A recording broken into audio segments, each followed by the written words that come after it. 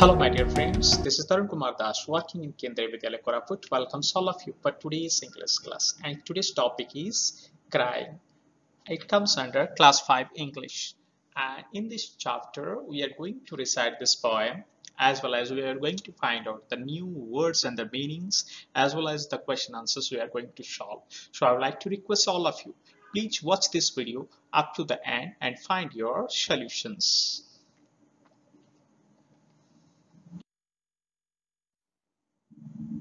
Before going to the lesson, let us find out the objectives. The objectives are number one, recite this poem with proper stress and pronunciation, learn new words and meanings, understand different emotions and the value of crying.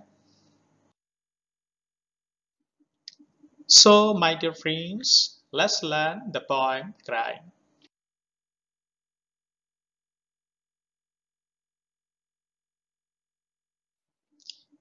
He is the poet of the poem Crying and he is an American poet and the name of this poet is Galway Kinnell and he was born in 1st February 1927 in United States of America and died in 28 on 28 October 2014.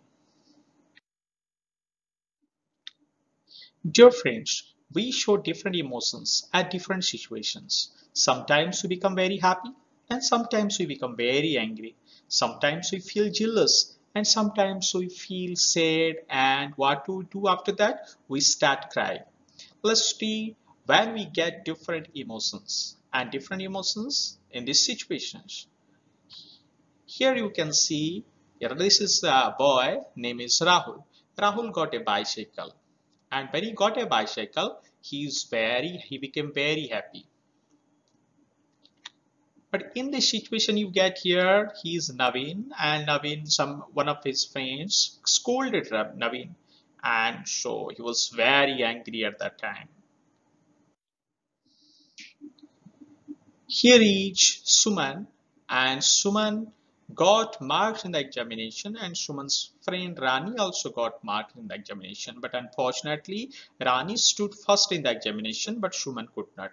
So what happened? Suman became very jealous when Rani stood first in the examination. Next this is Sonia and Sonia's birthday was on that day and Sonia didn't Sorry, get the a object. new dress on her birthday. So what happened with Sonia? Sonia became very upset, very sad as you are also being sad in your on your birthday when you are not getting your proper dresses or your uh, uh, gift items or the things not to be done completely. So here Sonia got very sad and started crying. Friends, the poem Crying is also based upon our emotions. So let's recite and understand the poem. Here is the poem Crying and you can see here the picture. This boy is crying a lot. So let's recite this poem. Let me recite first. You please listen carefully how I am going to pronounce the words and how I am going to recite this poem. After that, I will make you understand what the poem actually wants to tell us. Crying only a little bit is no use. You must cry until your pillow is soaked. Then you can jump in the shower and splash, splash, splash. So my dear friends, in this stanza, the poet wants to tell us that here you can find out the words like soaked. Soaked means completely wet. And the word here shower. Shower means something in the bathroom you can find out where water is getting sprinkled or sprayed on you when you are taking bath. Another word is here splash. Splash means actually it is a sound being created when something falls in the water or you are beating the water in joy or happiness at that time the water sprays around you it drops around you by creating a sound. And that sound is called as here splash. So here the poet wants to tell you crying only a little bit is no use. That means if my dear friends if you are crying, if you are upset, I know you are upset, but if you are crying, so what happens? Sometimes you cry very little. And sometimes you cry very often and you cry a lot. But if you are crying a, a little, then there is no use of that one. Because the sorrow, what is with you, the sad situation, the sad moments, what, what are with you, they will not go. They will be with you forever and for a long time. So if you want to feel comfortable if you want to feel happy then you must cry a lot. You should not cry little. You should cry a lot. You must cry until your pillow is soaked. That means you can cry whenever sometimes we are crying by covering our face through the pillow. So at that time what happens? If you are if you want to cry the poets wants to tell you if you want to cry then you can cry a lot by covering your face in the pillow so that with the tears the pillow will become totally wet this way the pillow will be soaked with your tears. After crying what you will do? After crying you will jump in the shower. You will jump in the shower means you have to go for taking a bath in the shower. And what you will do? You will start beating the water in the shower while taking bath. And you will create a sound splash splash splash.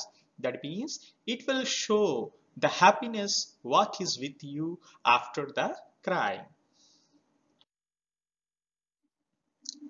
then you can throw open your window and ha ha ha ha and if people say hey what's going on up there? Ha ha sing back. Happiness was hiding in the last year. I wept it ha ha so here the poet wants to tell you then you can throw open your window. After taking the bath you can open your window and see outside in happiness. When the people they will see you. They will ask you hey boy. Hey girl. What is happening? Why are you so happy? At that time you can say haha by smiling by laughing louder. And you can say that my happiness was behind the last year it was hiding and when i cried a lot and when my last year went away, the same time my happiness came outside. Now I am very happy. So here, my dear friends, wept. Wept is a word you can see. It comes from the word weep. W-E-E-P, weep, wept and wept. I wept. I cried a lot. And now I became very happy. What is the summary of this poem? The summary of this poem tells you that in this short poem, the poet comments on the healing effects of crying. Healing means curing. Show effects of crying. He states that crying a little bit will not give you happiness. You must cry your heart out. After crying your heart out, you will achieve happiness. The sorrows will be washed away with the tears and it will bring you to the world of happiness. So my dear friends, here are the words. First word is you're soaked. S-O-A-K-E-D and it is pronounced as soaked and it means completely wet. And you can see the picture here and what girl is getting wet the clothes and the same girl after getting wet the same girl is taking the wet clothes and she is drying in the sun Shalu is drying the soaked clothes this can be used in a sentence like this. You can frame some more sentences also. S-H-O-W-E-R is shower and its meaning is bath in which water is sprayed from above.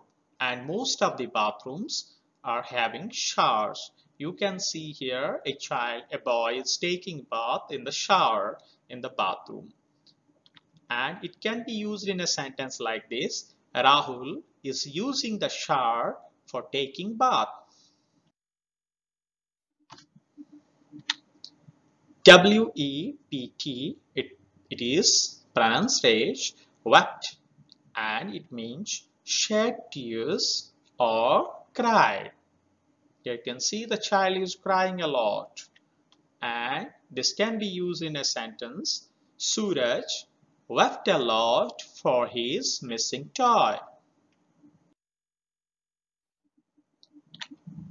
S-P-L-A-S-H, it is splash and it means the sound made by beating water. You can see here the child is creating the splash sound by beating the water and the water droplets are falling here and there. I hear a splash while Neeraj was taking a bath.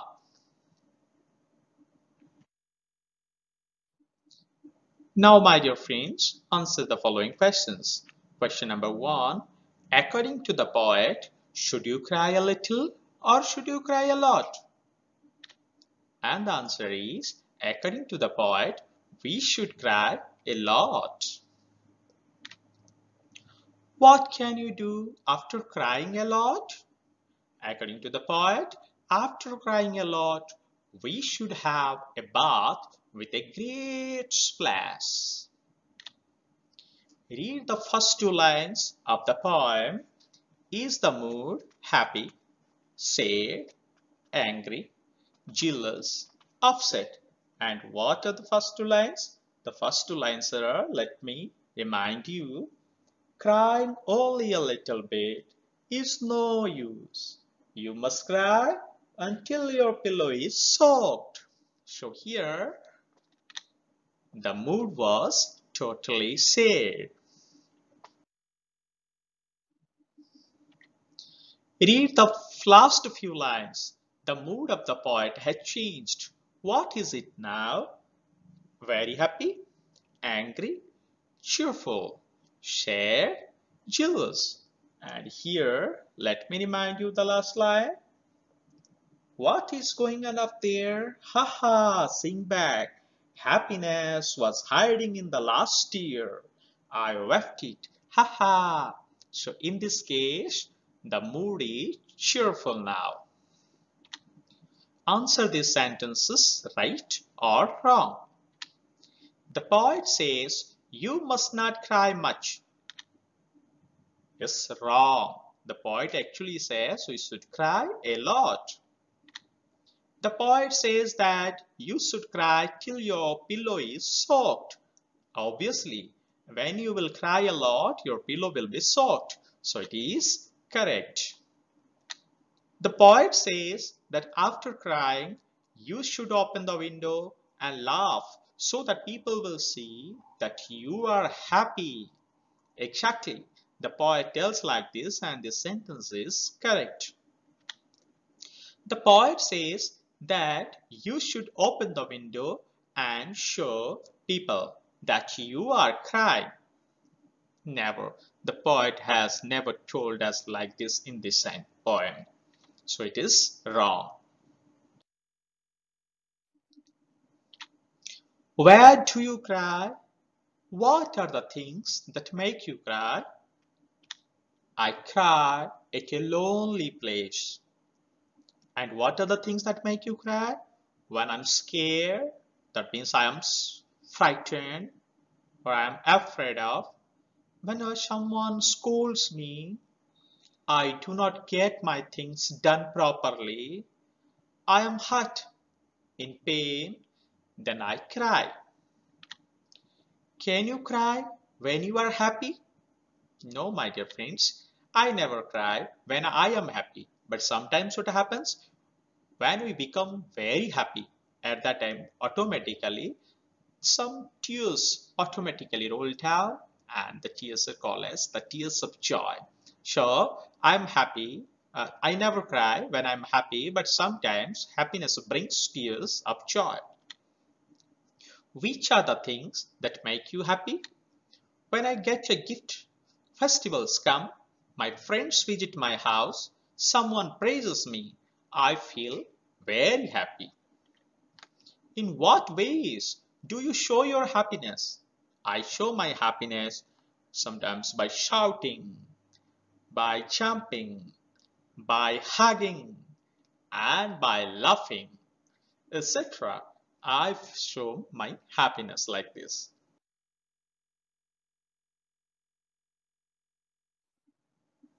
So my dear friends, if you like this video, please subscribe this channel Tarun Kumar Dash and you can like the video and you can share with your friends and other relatives so that everybody can listen and learn.